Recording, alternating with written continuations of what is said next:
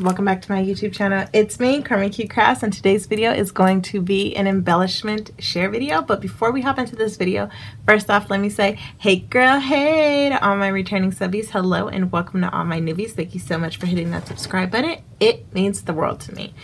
Also, don't forget to hit the bell notification so you can be notified every time I post a new video. And of course, don't forget to give this video a thumbs up if you like the content. Came up with these really cute shaker um, embellishments and I want to share them with you. Um, I'm going to share the ones that I made and then I'm going to add the tutorial on how to do it at the end of the video. So stay tuned if you want to see how to make these cute little Halloween shakers. Boop, boop.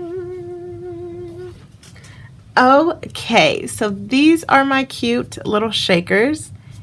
Um, they're just really, really cute. So I'm going to just show you guys one at a time. So this one has orange and black flower on it, paper flower, some black trim, eyelash trim. So I did five with the orange and black. And they all have a little spider in the middle somewhere. Like there's there's the spider there. So really cute. I just think they're really, really cute. Oops.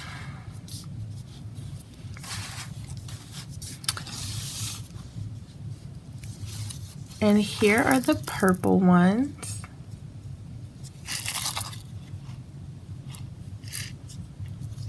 I think these are so cute. They're super easy okay, to so make. for supplies, you're going to need a circle punch, I have two and a half inches. You're going to need these small ornaments. You're going to need some paper flowers of your choice. I'm to do two purple and a black, so you just need three. Um, and then you need some spiders, plastic spiders. You're gonna need some trim and then some sequins and glitter of your choice. Okay, so I already punched out the pattern paper that I want. I did spider webs. I'm gonna take some tweezers and get my little plastic spider here. And all I did was take some hot glue on the legs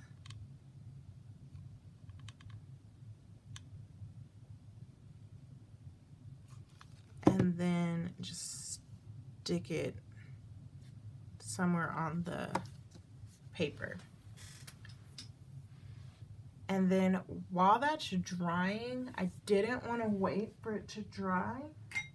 So I took some glitter of my choice, which I chose purple glitter for this one. And I'm just going to take my little spoon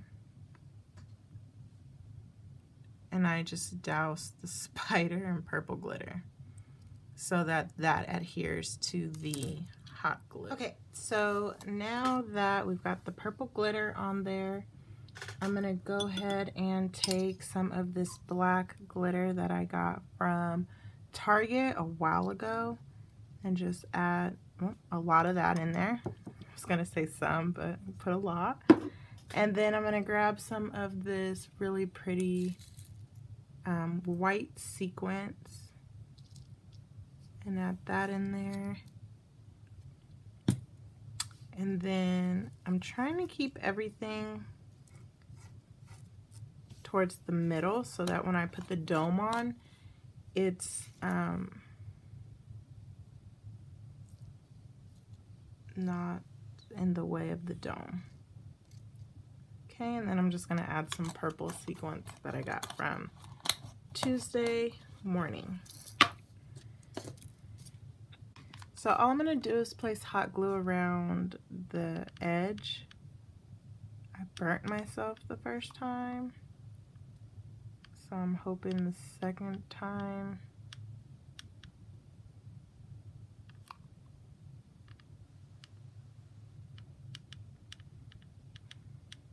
is the charm. And then I'm just gonna try to get it where it's around all of the sequins, like that. And then I'm gonna take our black eyelash trim and I'm just gonna stick a glob of glue um, on the side there and I'm gonna take one of these paper flowers I'm gonna take the purple one and I'm just gonna stick that on there so that it pins the trim down. And then, let me get my hot glue finger. Then I'm just going to go around the globe again with a generous amount of hot glue. And just pin the trim down and just go back and snatch out the trim so that it's not all getting hot glued down. And then I'm going again and just taking the trim, pulling some off, just so that it's all fuzzy around. And then right here, I'm gonna just add some dollops of hot glue. And I'm gonna put the black flower in the middle. And then another purple flower on the other edge. And there you have it, your cute little shaker globe.